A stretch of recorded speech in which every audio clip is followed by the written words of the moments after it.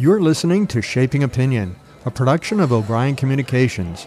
O'Brien Communications is a corporate communications consultancy that can be found at o'briencommunications.com. To connect with us at Shaping Opinion, go to Facebook, Twitter, Instagram, and LinkedIn. If you enjoy the podcast, please rate and review it on Apple Podcasts. When you rate and review on iTunes, you help more listeners like you find us.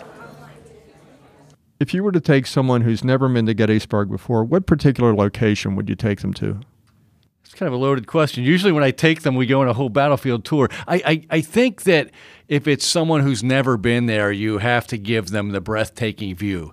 That would probably be Little Round Top because of the expansiveness of the valley that you see you really get a, a, a, picturesque view of, of Gettysburg and what was once a very bloody battlefield. I guess the second, if there was a tie, it would be at the angle, which was where the Union Army repelled Pickett's charge, because that's the question that everybody has. Where did that happen? So I think those two, probably a Little Round Top one, and, and the angle would be two. But there, there were there would be many tied for three. Well, you've probably done that before. What are people's reactions when you take them to those places? Little Round Top, the view is breathtaking. I mean, they're not expecting that if they've never been to uh, to Gettysburg or, or, or, or, that part of the state. It's just you know the the rolling hills with the mountains in the background, and you, I think when you're up there, you can somewhat from a 21st century perspective get a sense of what it might have looked like. Because that's i mean that's what i do. I think that's what people do. Trying to place yourself back. You're standing on the ground exactly where it happened and what that must have looked like on July 2nd or July 3rd, 1863. I think that's what people kind of go through. And our perceptions are probably all wrong. It probably didn't look like that, but it, at least it, it transports you back into time. So it, it gets you into the, into the mode.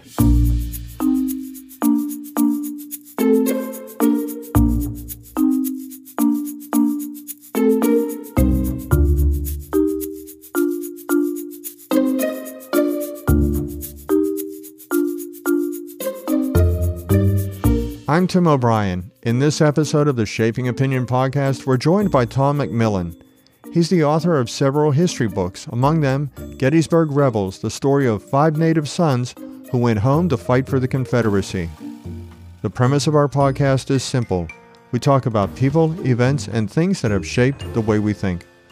Today we're going to talk with Tom about the Civil War history of Gettysburg and why it still matters.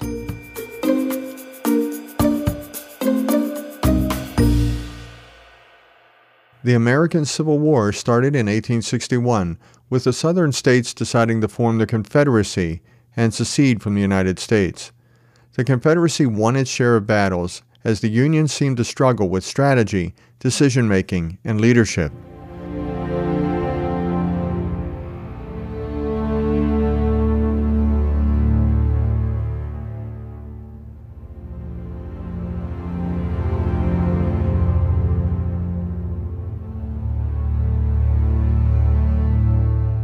By the summer of 1863, Confederate General Robert E. Lee decided to capitalize on a series of Confederate victories and try to win the war on Northern soil.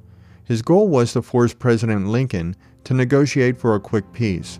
His route was the Shenandoah Valley, which provided cover for his army as the Union Army followed in pursuit. The Confederate force entered Pennsylvania in mid June, and by the end of the month it had reached the Susquehanna River near Harrisburg. Federal and Confederate forces would collide at the town of Gettysburg on the morning of July 1st. On that first day, the Confederate forces pushed the Union troops out of the town, but they could not take some strategic hills that preserved the high ground for the Federals. On the second day, reinforcements arrived for both armies.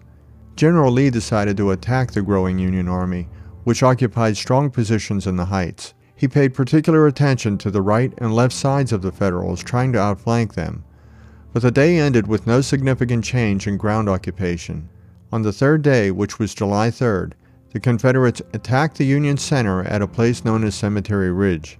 This is known as Pickett's Charge, named after Confederate General George Pickett, who led the attack. On that day, the Confederates would reach their furthest point north during the war. Historians would refer to this as when the Confederates reached high tide before retreating south. The Battle of Gettysburg was a defeat for Lee and the Confederate Army. but it would be two more years of fighting before the Civil War would come to an end. By the end of the Battle of Gettysburg, there were heavy casualties on both sides. Roughly 51,000 soldiers were killed, wounded, captured, or listed as missing. In my own research on the topic, one person described it best. He said, That's 51,000 unique stories combined with the stories of those who survived or were affected in some way by the Battle of Gettysburg. The fighting at Gettysburg has inspired countless movies, books, documentaries, and many journal and news articles. The town of Gettysburg remains one of the most popular Civil War destinations for historians, history buffs, and tourists. So, what's the appeal? Why does Gettysburg still matter? Today, we talk with author Tom McMillan about this question and much more. Tom, would you mind telling us a little bit about yourself and how you started learning about Gettysburg? For the last 23 years, I've been vice president of communications for the Pittsburgh Penguins. Before that, I was in the, the Pittsburgh sports media for 18 years. So my entire background has been media slash journalism slash PR, almost all of it in the realm of sports. I grew up in Bellevue, here went to Bellevue High School uh, and went to Point Park for a journalism degree. And that's uh, all in Pittsburgh. Yes, everything's in Pittsburgh, and, and, so I kind of just yeah always this was always the the, the, central part of my life. But you know, you take those tests in high school where they, they try to figure out what you should be, and number one was journalist, number two was history teacher. So it was really close. I was debating whether I should have been a history teacher. Uh, I obviously had a, had a very fun and rewarding uh, career in in media and PR, but the study of history is still available to you. So I've been I, I've been a an amateur historian most of my life um, with Gettysburg. I think, like most people who grew up in Pennsylvania, I went there with my parents when I was a little kid. I remember that, and it made an impression, but then you get on with the rest of your life. And I, I share this story with a lot of people who I meet up there now, and, and it's, it's very similar. Uh, then at some point later in life, when you're an adult, you, you regain the enthusiasm. For me, that was the release of the movie Gettysburg in 1993. I remember um, seeing a piece on A and E one night about the making of the movie Gettysburg. I just stumbled across it, and I thought, "Oh, this would be interesting. I'd like to see this when it comes out." It did come out. Uh, not many theaters showed it uh, around here because it was a four and a half hour movie, and I said, "I've got to go." I went on a Tuesday night. It was actually one of those movies that was in two parts. They had an intermission. I was so mesmerized that I got in my car on Friday and drove to Gettysburg uh, when I was driving al- al- along one of the one of the roads that sets up the monuments for Pickett's Charge, it hit me, and I've had the sickness ever since. It has never gone away, and it's uh, it's it's uh, in many ways uh, my escape.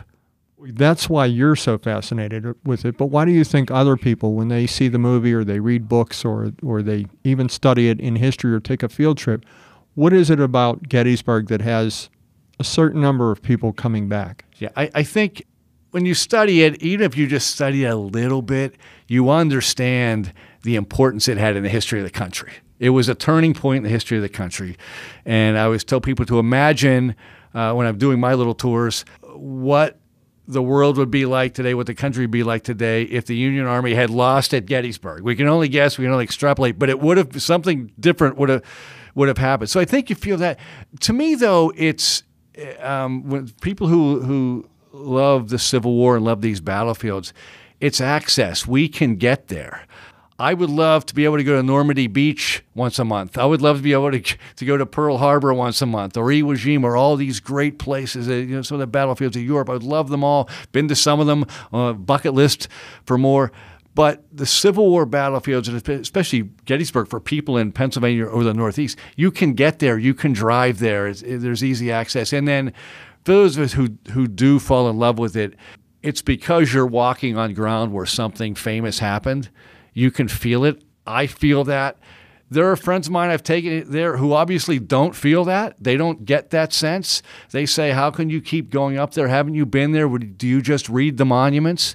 And to them, you know, they have other interests, and it did, didn't. Hit, but to me, that's all. It, it, I love to go to historic places anywhere, whether it's Jamestown or wherever you can imagine, because something important happened there, and you you can transport yourself back in the time. And Gettysburg is so because the Union Army won, and they realized right away this was going to be an important place in history, and they they protected it and monumented it, if that's a word. You can go back and really study the battle and feel that sense. So I, th- I think that's what people feel one of the things you just mentioned I thought was pretty interesting because that's a lot of people. They say, Do you just look at the monuments? Well, obviously, because the monuments are there, that's what you see. What do you see behind the monuments, around the monuments? What, what are the things that you see? Well, again, I, I think for a lot of people, and I still do this, I did this at the beginning when I didn't know very much. You visualize of what it what it must have looked like when the Union side. You're thinking there were Confederate soldiers coming up this hill. I'm trying to think what that looks like you know, on the Confederate side, you're thinking there are Union soldiers over there. So I, I think you can do that because you know it, something like that did happen there. The more you study, though, and understand the ground, and you read the soldiers' accounts, and all of a sudden, so you're going to look for this little knoll or this little valley that somebody wrote about in 1863. He remembered being there, and so I do a lot of that now. I mean, you know, I think once you get into it to the, to the level that that I'm into it, you're going to the off the beaten path places, the places that not many people go to, and see if you can find those little clues. It's fascinating. My mother, who's who's long gone, used to always say, "Haven't you seen everything?" And the answer, I would say, no. There, you know, there were 160,000 soldiers who fought here. There are 160,000 stories, but you can never know everything. And the other thing, Tim, I think it's it's what gets me about this, and this this affects a lot of parts of history, though it, some of it will always be a mystery because a lot of the truth, a lot of the stories died with the guys who died on that battlefield. They all had stories too. One of them, or many of them, I'm sure, would have had a clue. They would be able to give us a clue as to what really happened on this part of the battle, but because they died, they weren't able to tell their stories. So we only, even as much as it's been studied, and as many monuments as are, there are, as many accounts have been written, we only will always have part of the story because a lot of it is just, you know, it, it ended on July 1st, 2nd, and 3rd when, when those guys died. Well, you reminded me when you were talking about when people see the monuments and what you see when you're there. And I thought back to when I took one of my kids, my older son, there. And he was five years old. And, and he liked the idea of wearing the, the cap and walking around with a toy sword or a toy gun. But I remember this trip in particular because we actually took out of the library a Time Life book. And it was nothing but photographs. It was a history book of Gettysburg and the Civil War. So I, I put post it notes on all the photos from Gettysburg. And we went to each place where the photo was, and I held the book out, and my son looked at the picture and then the location, and it all registered with a five year old. And he's still, he's, he's far older than five now, but he's still into it. But I wanted to talk today about something that's a little bit more relatable. And you mentioned there were 161,000 stories, and we don't have time for that today, but you wrote a book and the book that you wrote was called Gettysburg Rebels, the story of five native sons who went home to fight for the Confederacy. So you focused on five people, five of those stories. And I thought that was a nice approach because those are five rich stories and you spent a whole book on it. Why did you write the book? I always wanted to write a book on Gettysburg. I wasn't sure that that opportunity would ever arise. I wasn't ever sure I would ever write a book on history. As it turned out, in 2014, I ended up writing a book about Flight 93, the September 11th flight that, that crashed in Somerset County. Uh, it was received very well. It was a very rewarding, emotional experience for me. I got to meet those family members. But most importantly for me, it proved to me that I could do it and established that even though my entire background was in sports, that I could write a book on history and it could be well received. But even with that I wasn't there. There's so many. Uh, you know, there are sixty thousand books written on the Civil War, and probably a quarter of those are on Gettysburg. I wasn't someone who wanted to rewrite one of the stories, and that happens a lot. There are, you know, there are 50 books on Pickett's charge, uh, and there are different takes. I, I, I, read them. It's interesting to get to different takes. I love the research part. I wouldn't have been fascinated by that. I, so I didn't think I would ever find a topic that that would lead me into doing this kind of research. And I kicked around, you know, I knew as, as we want maybe want to talk about some of the individuals, there were there were two guys who I knew of who grew up in Gettysburg who fought in the Confederate Army at the Battle of Gettysburg. And I thought, how fascinating, not even because it's the Civil War, in any war, imagine circumstances happening that you come back as a foreign invader in your hometown, what that would have felt like, what the implications that would be. So I decided to look into it. I figured there wasn't a lot there, or somebody else would have written that book already. And, and I really had to dig. I found out actually there were five. There were five young men who grew up in Gettysburg. They moved to what is now West Virginia, what was then Virginia, for work in the mid 1850s. They joined militia units. As you know, Tim, the militia units on both sides became the foundations of those armies, and they ended up fighting the Confederate Army. But even with that, I, I they never would have imagined they'd been going back to their old hometown. Uh, the frustrating part was these guys didn't write much. It wasn't like writing, most books are about generals and battlefield heroes. There's a lot of material. These guys didn't leave a lot. I really had to dig through and track, uh, you know, track down ancestors and, and things like that. But I still thought it was, it was worth telling that story of, uh, again, foreign invaders in their old hometown in this most famous battle of a hugely significant part in, of American history, but also, as, as, you indicated, from the real foot soldier. Four of these guys never rose above the rank of private. One made it all the way to sergeant. These were just regular guys, so it's a little bit of that experience too. I wish I could have gathered more information, but I, I was happy with what I was able to gather, and uh, it, it, leads to some fascinating uh, book talks when I go around to Civil War roundtables or whatever. Well, here we are in the 21st century, and we're talking about five stories that may have been lost to history if you didn't write that book. Let's talk about some of those stories because I, I know that one of the more famous ones that you mentioned is Wesley Culp. One of the big parts of the battlefield was the Culp Farm.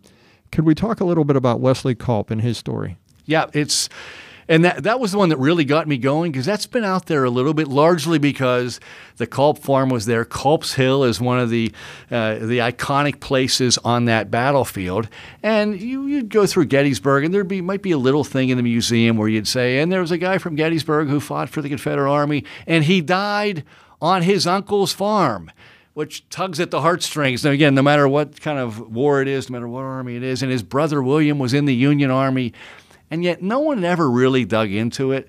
So that was when I was trying to figure out if there was enough information. There was more on him than any of the others. I really dug into. But I'm a as a as a, an old journalist, I'm a skeptic at heart. I was thinking some of this myth can't be true. I found out that it wasn't basically the, the, the basic story was true. Um, he did not die on Culp's Hill. Culp's Hill was not owned by his uncle. It was a much more distant relative. These things, people start telling the stories, and they keep, you know how it is. They keep getting repeated and repeated, and and they become facts. So I wanted to set the story straight a little bit. But the one thing that happened, of the, probably the most amazing thing as I was doing the research, I tracked down a descendant who I found the name in a book of a guy who had some Wesley Culp letters and I looked him up on the internet, and he had passed away, but I found his obituary, and his two adult sons were living there in Harrisburg. So I cold wrote them letters. Hey, I'm just, you know, I realize you may throw this letter away, but I'm doing a book. I tried to establish it. And uh, two days later, one of them sent me a text. Wow. And, and, and we got on the phone, and he said, My dad was the historian and genealogist. I know we're related to the Culps. I don't have a lot of knowledge myself. I saved my dad's things, you can have them or you can look at them. So I figured he would. I was excited. I figured he'd let me drive to Harrisburg one day and put on white gloves and look through these these little envelopes and touch these letters that were written in the 1860s. Two days later, he sends me another text. Tom, I just put them in the mail. He, he took documents from the 1860s, handwritten by someone who has a Civil War pedigree, uh, and and mailed them to me. And was, well, he trusts the U.S. Postal Service. Uh, well, I think what happens it's changed. Now he realized what he had. He he wasn't into it like his father was he didn't, you know, and that's why we've lost a lot of things. The things are in boxes. We all move. We need to downsize. I'm going to throw this crap away from my great great grandfather, and we lose a lot of things. And I think if I hadn't done this project by Quirk of Fate and tracked him down, that probably would have happened there. But he sent them to me, and I can tell you, as as a as a history buff, you would probably feel the same. My hands were trembling as you're holding something, written by this guy Wesley Culp to his sister in 1860 What he didn't know was there, there was also a six page handwritten story of Wesley Culp. I put my fingers up for quote marks, uh, written by Wesley's niece in the early 1930s about Wesley's story in the Battle of Gettysburg. No historian had ever seen it. It had never been referenced. It had never gotten out of this envelope. So that really was was a huge find for me because it corrected some of the myths just uh, maybe adjusted some of the myths. This stuff was generally true, but it, it really got to the bottom of the story. And I, ironically, I met him and his daughter and his grandson at Gettysburg last year. So three generations of Culps were going to tour Culp's Hill, and they're now all engaged in it because they realize what they have. But again, I think those things would have lost. So just to, to find that out, and the crux of that story was when Wesley Culp came back. I mean, he his unit we know marched right through town on July 1st. The battle being July 1st, 2nd, what, and 3rd. What unit was he a part of? He was in the Second Virginia Infantry and the Stonewall Brigade, which is the most famous brigade in the Confederate Army, and and they they uh, bedded down for the night. They weren't going to be in action that day, and in the dark, he, he he his sister lived in town. He walked into town and rapped on his sister's door in the middle of the Civil War. I mean, Gettysburg was a Union town. It was held by the Confederates, but it was still very dangerous. Imagine the sisters. They haven't seen their brother for two years. There's a knock at the door. There's been a war. A war has come to your doorstep, and now there's a knock on the door. You look out, and there's a guy in a Confederate uniform, and it's your brother. And, uh, and they tried to get him to stay. Uh, he didn't stay. He had to go back to his unit. He said, "I'll be back. I have some messages for people. I'll be back the next day." And he was, he was killed the next morning on a, on a skirmish line uh, much earlier than history had previously recorded it. But this, handwritten by his niece, whose mother was the lady who answered the door, so she heard it directly from the lady. It's as close as we can get to direct evidence, talking about that conversation she had her with her Confederate soldier brother in that house that night. And then he was killed the next day. They went out looking for the body. So, the, digging into those, those kinds of things, it's it, it's what keeps you going. You find those little clues in places you didn't expect them. So you if if there's real satisfaction, it's adding a little layer to history that people didn't know before.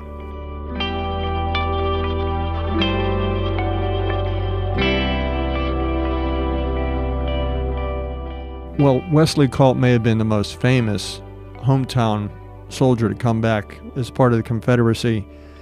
There was another one that you found and you described in your book. His name is Henry Wentz. He, he was the second guy that got me going that I was really intrigued about because for anybody who's gone to Gettysburg and gone down the Emmitsburg Road right to the Peach Orchard, which is one of the most visited parts of the battlefield, right across the road there is this odd iron tablet that says simply Wentz House. And there is nothing there. Obviously, you know there used to be a house there, but there's nothing there. So literally, no one ever goes to that side of the field because. Everybody walks on the other side at the Peach Orchard. And then you do some reading and you realize not only was Henry Wentz, who grew up in that house in the Confederate Army, and not only was he at Gettysburg, but he was in an artillery unit that was posted 600 yards from the house, pointed at the house, at Union troops that were stationed around that house at a key part of the battlefield. His parents still lived there. His sister still lived there. Now, his mother and sister had been moved out of town for the battle. His dad was in the house. He wouldn't have known this.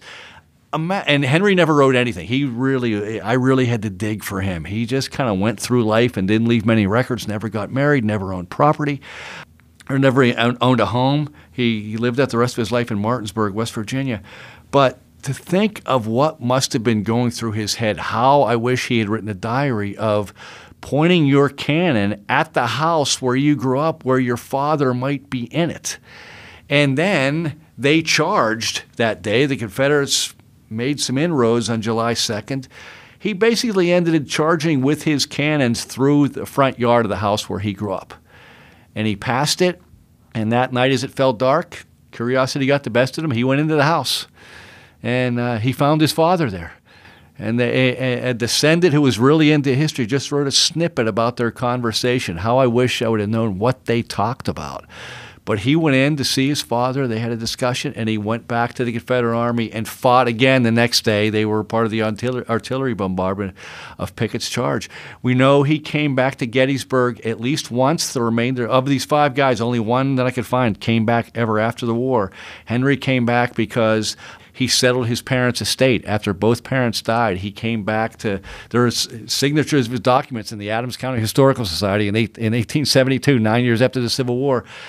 I wonder what happened then with interaction with the citizens in, in, town who would have known that he was in the battle. So, you know, you don't have that part of the story. So there's, there's a little bit of the theater of the mind, but I think that's valuable too. I wrote as much as I could find out and then let people's imaginations run wild. But just a fascinating story to not just to come back. You know, you know the premise of the book is these guys who came back as foreign invaders, but this guy was firing on the house where he grew up.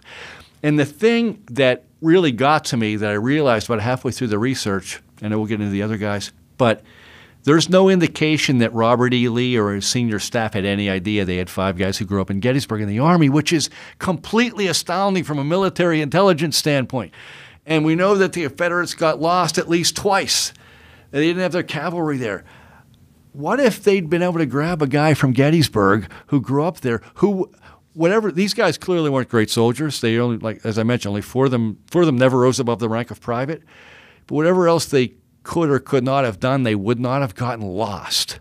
Would that have changed things? I don't know. We can always, I don't know, but they wouldn't have gotten lost. So it's an incredible lack of communication for those who do what you and I do for a living of how that could happen. It just stuns me that even in just conversations in the troops, hey, sir, hey, colonel, there's a guy from Gettysburg in our, in our unit and there's no record anywhere that that was ever passed up the line. It got to Getty's. Uh, Wesley Culp's brigade commander knew because he had to give him a pass to go into town to visit his sister. Yet that brigade commander never thought to pass that up the line. For those of us who uh, my ancestors fought in the Union Army, I'm glad that happened because I wanted the Union Army to win the battle, uh, which which they did. But it's just another factoid where you you know history is so much of a what if, but this is a real what if. It's not a made up what if. It's they were there and their senior commanders didn't know they were there. They, they, they could have had that kind of influence. So, I, I you, going back in history, I wish I could sit these guys down and ask them about them. Well, you said that the uh, that, that the Confederates got lost twice in this battle, but also, and I knew that even from everything that you read, that, that the generals on the Confederate side knew that this was a big battle for terrain. So if you had local people in your own army that knew this terrain, because it was so unusual, they they knew at the time that would have been an advantage. So there's no doubt that they didn't know their that they had Gettysburg. And they did it a lot in the South. Most of the war was fought in the South, but there were there were many many accounts in the Confederate Army of if you were near Fredericksburg or Richmond or whatever, and there was a local man in the Army. For that brief period of time, he was taken temporarily out of the ranks and assigned to staff as a scout or guide. Many of the great generals did that. We know that happened all the time. They real even in just just be, you're from Georgia, you don't know roads in Virginia. You know, you need a local man to do that. Uh, and, and, why that wouldn't have happened. Clearly, the Union Army had those advantages here. There were there were not only did they had the help of the townspeople who were very much for them, but they also had people from Gettysburg in the army. So they had that. They knew where they were going. They knew the hills. They knew the valleys. They knew the creeks. They knew where, where everything was. And those things they're very important to the military today. They're even more important back then when you didn't have the kind of communications that you have today. You really had to lay out those plans in advance so that hopefully you would not be surprised. So that's an element that, that didn't happen because they, they didn't know these guys were were in the army. Again, it was, it was maybe the most astounded I was from doing this research in the book that that, that was never passed along. Well, we had two people so far, and both of them had the chance to see family while they were in Gettysburg for that brief period of time. The three other people that you wrote about in your book were all brothers, the Hoffman brothers. Could you talk about the Hoffman brothers? And I knew nothing about them, and only two of them have been mentioned even briefly, and one was never known. Nothing was really known about these guys. Uh, but I had to research why Wesley Culp moves moves moved to Virginia as a 16 year old. I, I did I didn't know that. Henry Wentz was a little older. He went for work. He had aspirations of opening a carriage company, so that that kind of made sense. But Wesley's 16. What? Funny, he went because his employer, a carriage maker, Gettysburg was a big carriage town, C.W. Hoffman, moved his business from Gettysburg to Shepherdstown in 1856. So you're five years before the war. Yeah, these guys all they, they went in. The question I asked is because some people infer that these guys, the war broke out and they went to fight for the Confederates. No, they they had actually moved to Virginia for work, had nothing to do with uh, sectional problems. They were working there. It wasn't that far. It was only about 50 miles from Gettysburg, but that was a lot longer, that farther than than it, than it is now. And, and, so he he moved his business there, and he invited Wesley to come. And like a lot of 16 year olds, he said, "Why not? I'll take the adventure." I did notice by looking in, uh, you can find a lot, if you've ever done a genealogy, you can find a lot of information in census reports. So I looked up C.W. Hoffman in the census in Gettysburg in, in 1850, and he had three young sons, who, if you added 10 years to their age, would have been of the age to be Civil War soldiers. So I went to the National Archives, and sure enough, Robert Frank and Wesley Hoffman, all born in Gettysburg, all who grew up two blocks from the town square, were not only in the Confederate Army, but were parts of units that came north with Lee in the summer of 1863. So all of a sudden, that went, went from two to five, and I thought, wow, this is more impactful than I thought. And, so it, it, it gave me more places to research. And there was a little more about the Hoffman family, per se. So I was able to piece a little bit of that together. So basically, Wesley would have been friends with the with the three Hoffman brothers. He would have known them from their time in Gettysburg. They might have known Henry Wentz. He was a little older, but but four of these guys, you know, knew each other well. And and, and one of the things that happened to all well to Wesley and the oldest Robert Hoffman and Henry Wentz, when they went, they did what young men did all all across the country at that point. They joined militia units. You know that has a a negative connotation today. Uh, it back then every town had at least one, if not more. That it, was very important uh, for young men. Uh, it was a, not only did they get to put on a uniform and and uh, get a gun and do drills and pretend you're defending your hometown, but but it was a great social outlet. You know, that's you know pre smartphones and internet uh, that's how you would, especially for somebody moving into a town, you could meet new friends and hang out with your buddies, and, and, and that's what happens. And, and again, these militia units often enlisted en masse in the army. So my, uh, my relatives from the South Hills of Pittsburgh were in the St. Clair Guards. That was their militia unit they became company H of the 62nd Pennsylvania. I mean, they, they, both armies had had people from their own from the same town fighting with each other. So that was a very powerful lure on both sides. You really were. You hear often brother against brother in the Civil War, and and, that's true, but you were also fighting with your friends. Everybody in, you know, now that wouldn't happen. You fight with people from the United States, but not necessarily from from your hometown. I grew up in Bellevue. If I was in the Civil War, I would have been fighting with people from getting from Bellevue. You know, my friends and, and I knew their parents. And it just, it adds, when you think of that, take it down to the personal level, it adds a different dynamic. So that's what happened to these guys, at least four of them. They were, they were, they were friendly. They were in this unit for five years having no idea war was going to break out, and then it broke out, and, and everybody went and enlisted.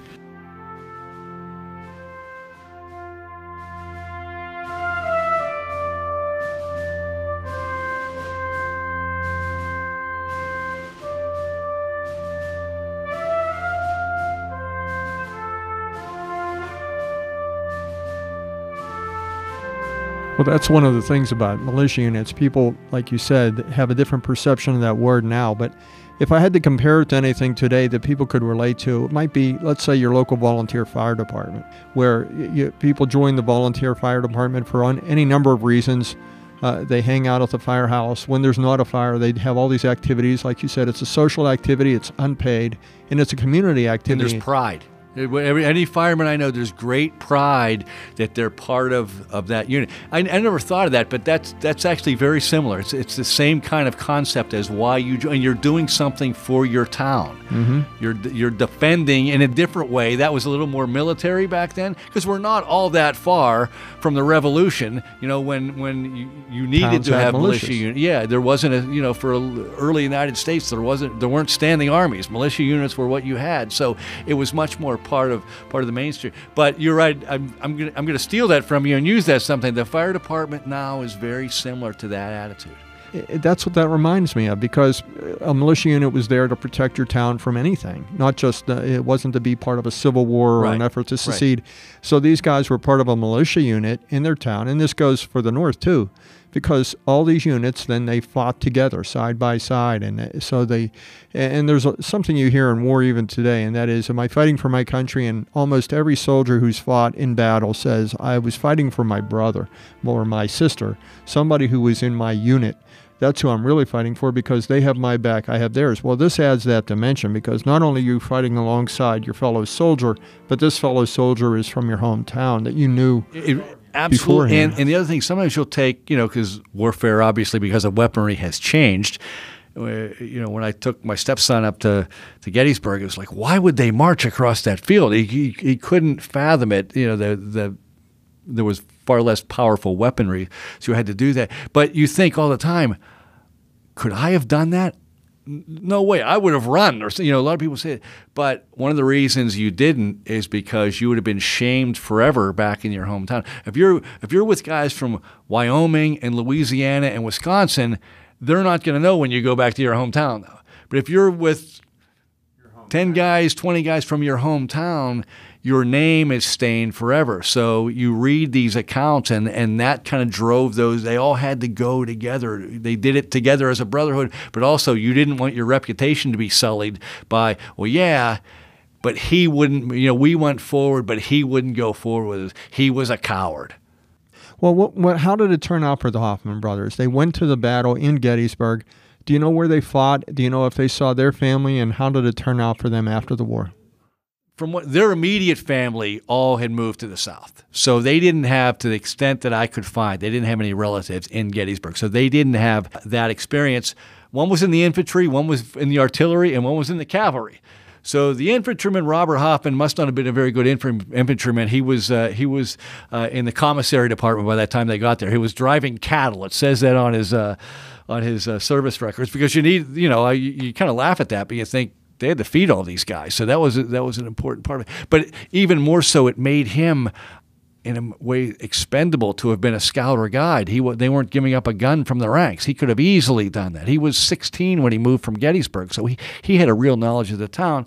Frank Hoffman was in uh, the artillery. He was actually in part of the bombardment for Pickett's charge. He was posted not far from Henry Wentz, and Wesley Hoffman was in the cavalry. They were on the his unit was on the fringes. They fought a battle in, in Fairfield, about eight miles away, on July 3rd.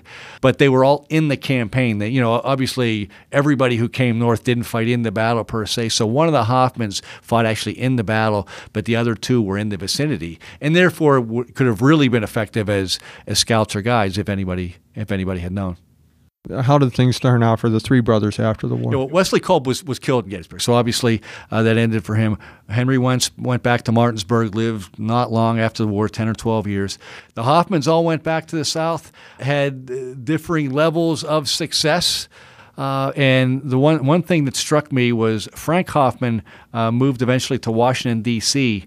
And uh, when I was looking up uh, some information on him and his obituaries, and some of these guys did have published obituaries, which gave you when he was. Some people uh, have asked me, was this story not known because these guys hid their background, that they didn't say where they were from? Absolutely not. Henry Wentz's uh, uh, obituary said he was a proud Confederate whose, whose father owned land on the Gettysburg battlefield.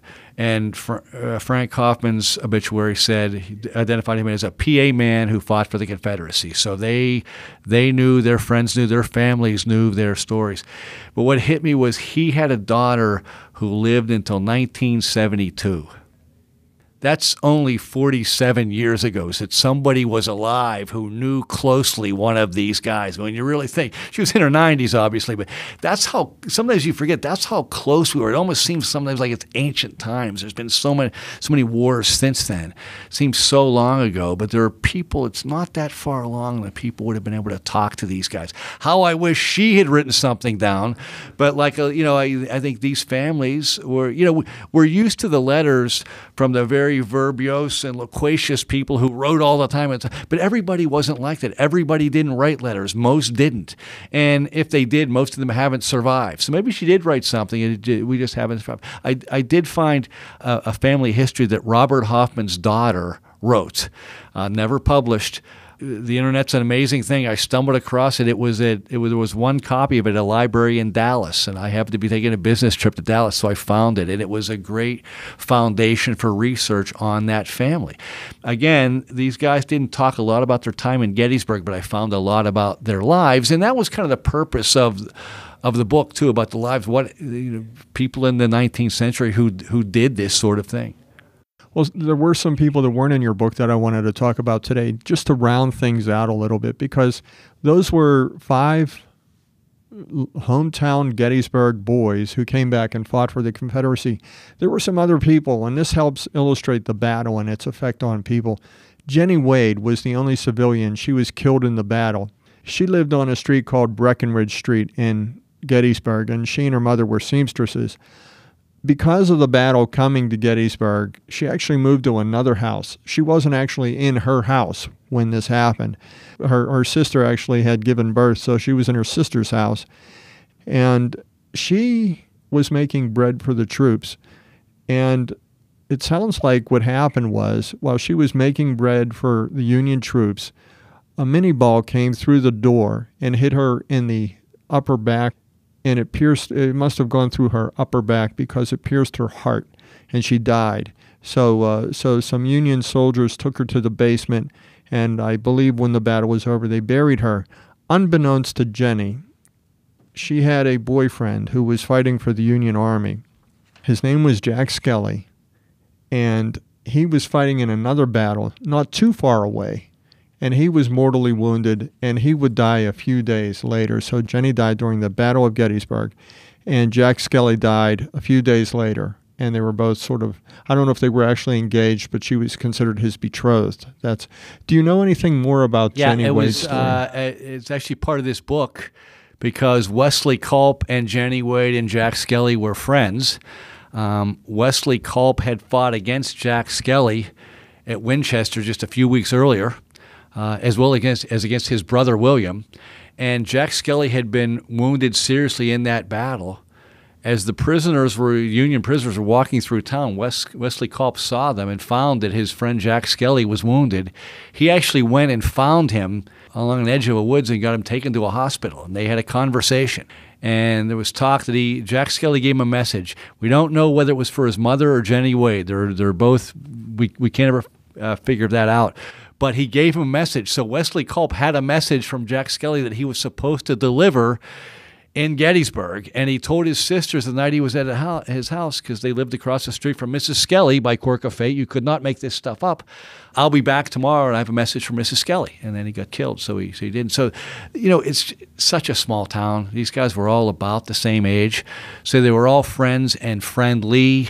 And Jenny Wade's dad had worked for Jack Skelly's dad, and they knew they knew Wesley Culp's dad. Again, really, you know couple thousand people in town. That's all. So really small town. So that's very much a part of it. And so you can add Wesley Culp to that story. All three of these people within a week and a half died not knowing what had happened to the other. Wesley Culp never would have known that Jack died because he, he survived for a few days.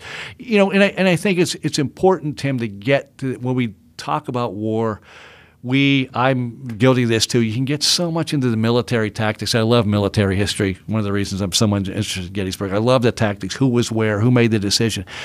But you've got to remember to get to the personal level. And when you get it to that personal, these three young people within a, you know, uh, one fought for the Union, one fought for the Confederacy. Jenny obviously was was was pro Union they all they all lost their lives. You know how many people lost their lives during the Civil War? How the country would have been different if we just if we didn't have the war, just because of the humanity that would have still been here. The number of people who lost their you know six hundred thousand people at least.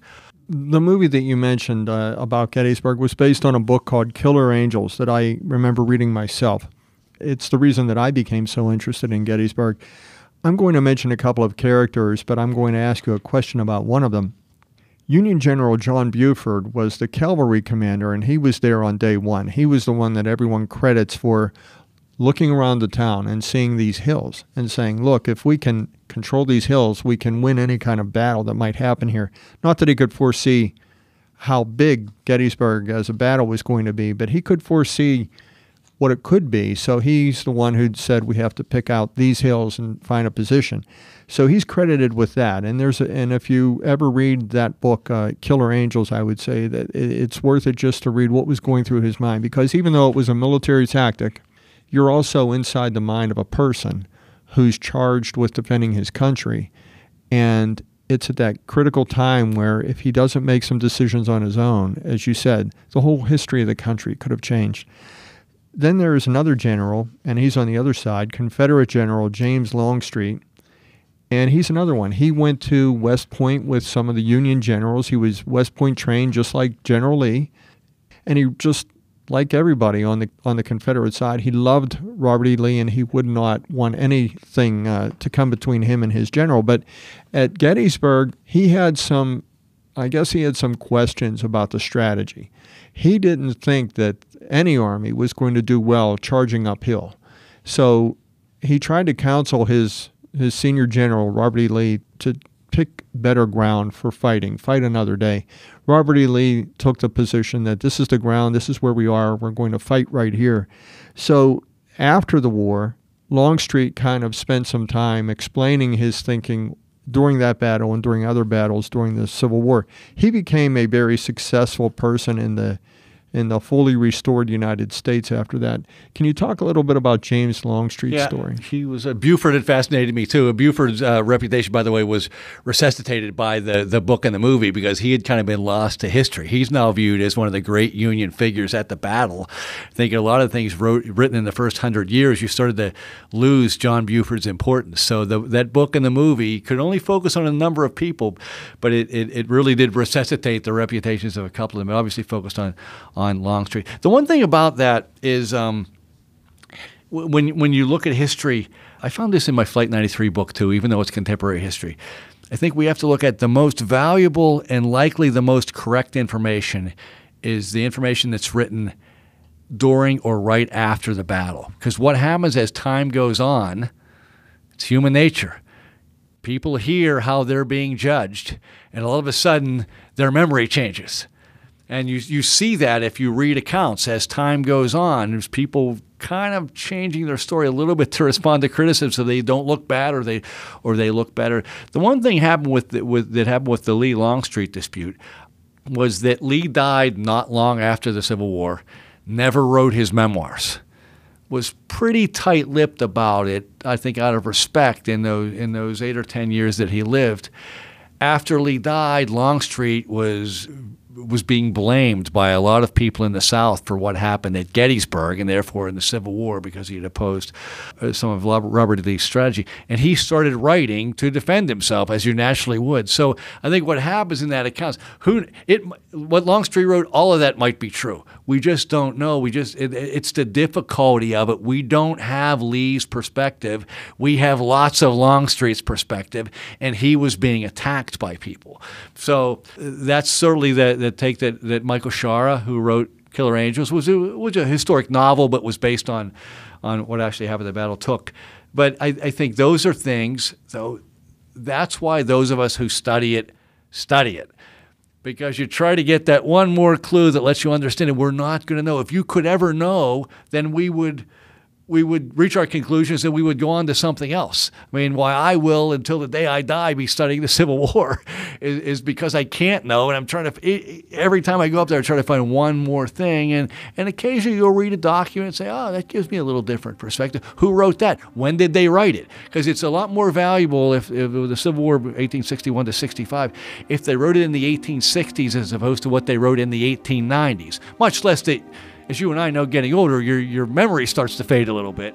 But the way you look at things is sometimes through the prism of how you are being judged in history, and everybody wants to be judged well in history. So I think some of that happened with, with the Longstreet story.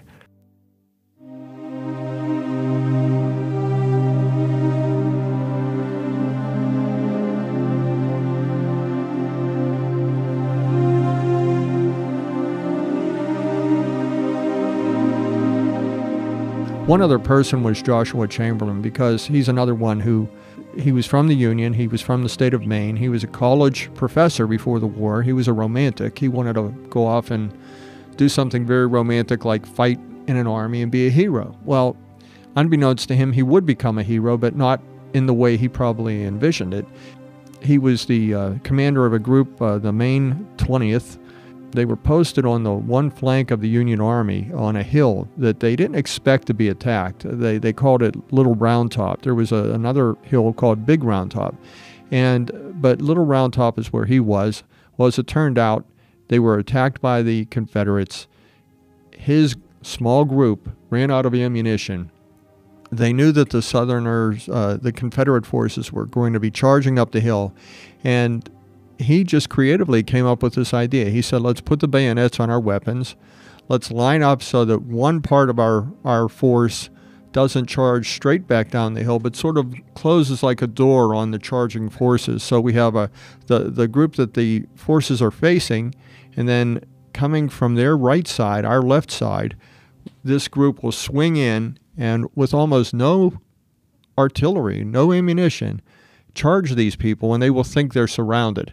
And that's exactly what happened. They thought they were surrounded. Uh, they retreated, and with almost no ammunition, Chamberlain's group won that battle and, and saved the flank and maybe saved the whole Gettysburg battle. But here's the thing that you were just saying Chamberlain is a very literate guy and he lived a long life, and he had a lot of time to tell his story after the war. So history is sometimes told by those who survive, yeah, isn't it? Yeah, you often hear it's, it's, told by the victors, but it's also told by the survivors.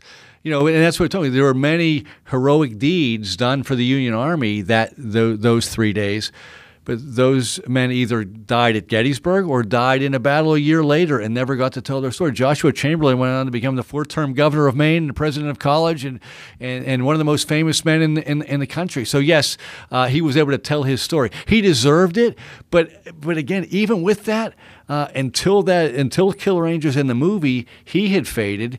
There's a, there's a book, uh, the Gettysburg Campaign by Edmund Coddington. It was for 50 years the single standard for study of the Battle of Gettysburg uh, that the guides had to study. As we learned, Chamberlain is mentioned on five pages of a 500 page book. Now, if you go to Gettysburg, he is one. People want to go to Little Round Top and see where Joshua Chamberlain fought. He is one of the most famous, maybe the most famous uh, figure from the Union Army to to modern day visitors because of Killer Angels and and the movie Gettysburg. And again, it's great. But you, you, would you write a book on Chamberlain? Yes, but there have been about 50 books on Chamberlain. That's what I'm talking. You know, a lot of these great stories have been written so much. That's why I tried to find just kind of one little angle that maybe hadn't been written. You did, and I, I, think today then we had the chance then to talk about some of those privates and a sergeant, uh, the only civilian who was killed in the battle, and then a couple of the key decision makers or, or officers that were in the war.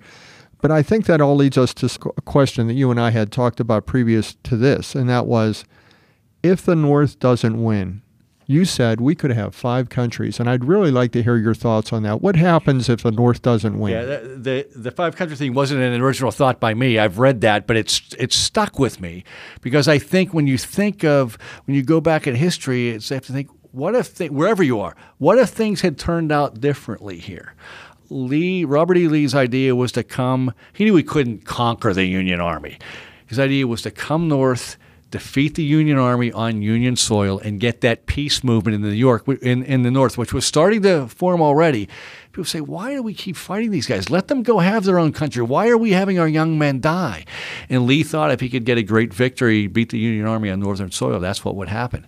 That we don't know. That very well may have happened had the Confederates won the Battle of Gettysburg or won, if they moved from Gettysburg, won somewhere else in, in, in Pennsylvania. And one of the theories that I had read was you certainly would then have North and South. You would have those two countries. But the West wasn't even. We were just about to Kansas. You know, we the West wasn't even formed yet. Um, neither country, as as I read this theory, would have been strong enough to control the West. So you at least have probably three countries. And then California and Texas might become countries of their own. I mean, Texas was a republic up until 1845. So you just think, and, and there was always a thought, you know, what John Adams and some of those guys were fighting against in the late late 1700s was so that the United States, the colonies, didn't start to replicate Europe, which is a great landmass with 30 different countries there, 30 different little states. People once thought that would happen to the United States. That's what the founding fathers tried to fight against, to make it all one. But here was a situation where uh, it wouldn't have been to that level, but there would have been no government entity strong enough to rule the whole continent or the whole continental United States. Imagine that that impact on the history of the world. If the United States wasn't able to, to be the United States that it you know that it was in the in in the, the 20th century, the American century. So you think it's a what if who knows? You can never know for sure. It's just kind of fun to think about that. And when I walk those fields, I think about, and, and you know, that's where when you uh, when you give credit and praise to the Union Army for what those guys did, who were just again, we talk about the commanders, but the soldiers were just regular guys. They were farmers and blacksmiths and ministers, my ancestors, who who went there and fought for four years and then went back to their regular jobs. But they uh, they preserved the country and, uh, and uh, allowed the future to happen as it unfolded. Well, that's another point you make when you talk about Europe and all those smaller countries as part of the larger continent and what could have happened here. But again, what people may not realize if they look at things through the year uh, through the prism of 2019 is back in 1863 states were like many countries. People don't realize that states were their own sovereign entities within. That's why we were called the United States because there was a certain um, differentiation between states that existed then that doesn't exist now. Right, and and some of that was just transportation. Most people never traveled more than 50 miles from where they were born now we can, you know, you can get to California in four hours. So just think of that perspective. People from Georgia had never been to Maine. People from Pennsylvania had never been to Florida. So you know, there, there's there's that part of it too. But yes, uh, as they began, as the colonies began, they were they were their own entities. And one of the striking statements is that before the Civil War, the phrase was, the sentence was, the United States are. After the Civil War, it was the United States is. The United States became a noun. It wasn't just a collection of, it wasn't a, a, plural, it became singular. Even though the word is plural, it became a singular noun, the United States. We don't think of it now, but before that, they were viewed as those parts. And, and, and frankly, that was part, you know, there, there's no question slavery was the cause of the Civil War. It was, it was the most important factor states' rights were part of that, though. The southern states thought that they, their, each state should should be sovereign and, and make its own rules and make its own decisions. That was the secondary part of this. Now, the most important slave, states' right was slavery, but but that was that was part of it. So I mean, the country changed in so many ways. But I think that the United States are the United States is was a really impactful thing that I think people nowadays don't don't think about in effect, the whole war was fought to change that whole mindset that we are one country. And at least that, that was the view of the Union by its very name. Right after the battle, Gettysburg was well known. It was well covered in the media. There were photographs. In November, President Lincoln would come to Gettysburg to give his famous Gettysburg Address. And he gave that at the dedication of a cemetery. And we all know the story, or many of us know the story of, of that address, that that Lincoln wasn't the primary speaker that day, but in fact, a lot of people didn't really hear him speak that day. But when a transcript of his speech was reprinted in newspapers, that's where it gained traction. But I guess my question for you here is more about the, the, the, the public mood after Gettysburg. Why did that particular battle capture the country's attention? Why did that battle, more than any other battle, capture the North's attention? The North was so much larger than the South population wise, about four to one. So just more people were were involved and interested in, in that fate. And the, the Union Army had not been doing well through the first two years of the war. I'm sure it was very terrifying. The Union Army kept losing battles and losing battles and win one here, but losing battles. Now here comes this Confederate menace. Again, you're only reading about this in newspapers. You're not watching it on CNN every night. There aren't interviews, as though myths and legends get created. Into the north, into Pennsylvania imagine the terror and fear that that would have caused. And that was one of Lee's ideas. The, whole, a lot of the war had been fought in Virginia. He and they knew that it was Well, it, yes, it was heroic, but it was also very gory and, and costly and damaging. And he thought the Union, uh, the people in the North didn't know that. So part of it was to bring the horror of war to the North and, and, and shock them with that. At the Confederates won, I think there would have been a large panic. But I think because the Union finally got a big victory, beat Robert E. Lee, defended – Union soil, defended Pennsylvania soil. I think that was it. And that was a, a turning point. And maybe it's looked in history as we, we like to tell nice, nice, neat little stories. Gettysburg called the turning point of the war. The war went on for two more years. The Confederates won more battles after that. Things could have changed. But looking back now, we realized that there really wasn't much of a chance for the Confederacy. A lot, a lot of lives were lost, needlessly, after Gettysburg. The Gettysburg and, and, and Vicksburg the next day in Mississippi, where uh, Ulysses S. Grant won that victory. So that, that double prong, July 3rd, July 4th, 1863, really, really changed it. But I think that was it. It was on Union soil, it was on Northern soil.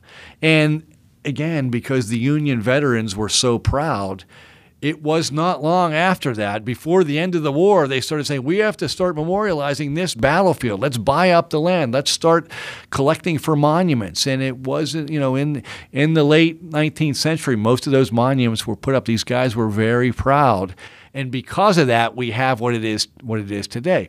Are there as many in the South? No. Why? They didn't win and they didn't have the money. But here, the, the Union Army, those guys could choose, could focus on one battlefield, that one battlefield in the north, where we're gonna we're gonna have our biggest and best and most attractive monument right here, because we want we know people are gonna come to visit it. We want them to see where we fought, and that's why they have those monuments. Those guys were it was the the individual regiments paid for them themselves. The state monuments were paid by the states. The regiments were paid by the soldiers. They raised that money, so they were very proud of it, justifiably so. And and many continued to go back and visit until pretty much the 75th anniversary, the last big reunion where uh, Franklin Delano Roosevelt spoke uh, spoke in Gettysburg.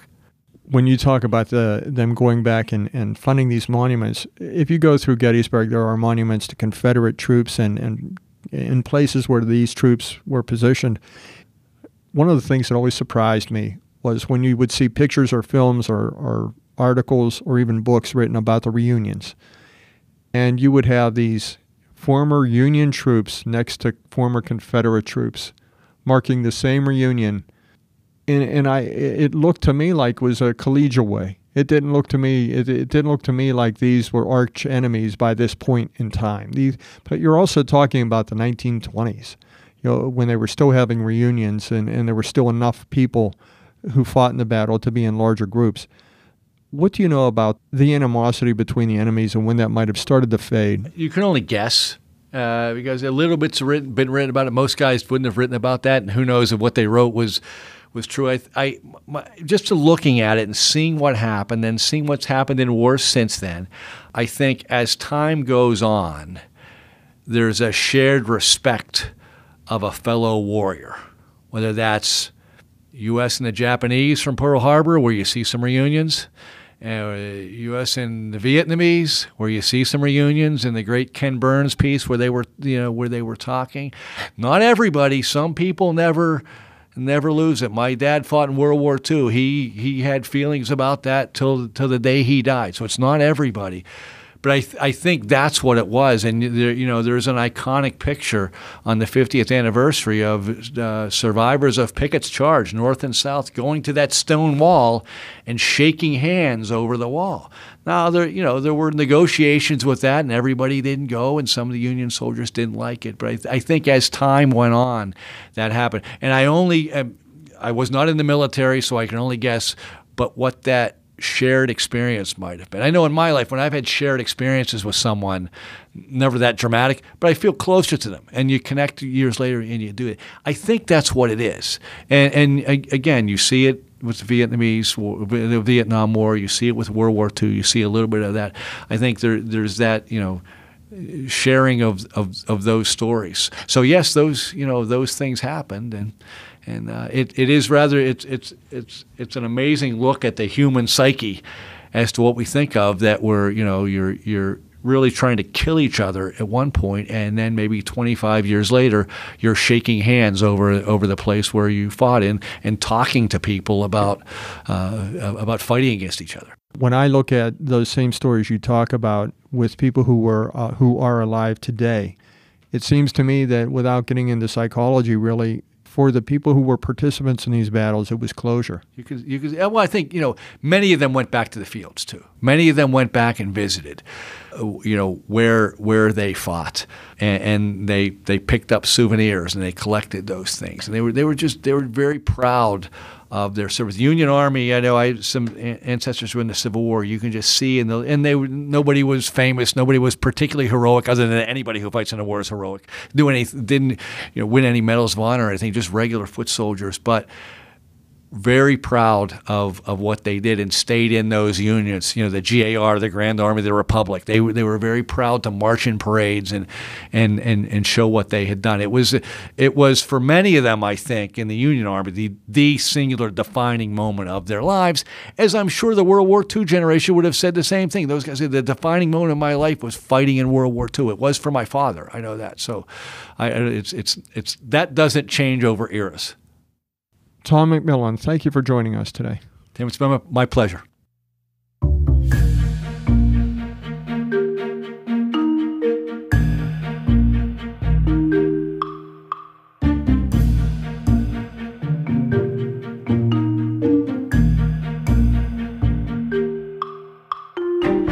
To learn more about Tom McMillan's several history books and about the Battle of Gettysburg, please see our show notes at shapingopinion.com. If you enjoyed this episode, please let people know by leaving a rating and review in Apple Podcasts. You can subscribe to the Shaping Opinion podcast on iTunes or wherever you listen to your podcasts. We'd love to hear from you.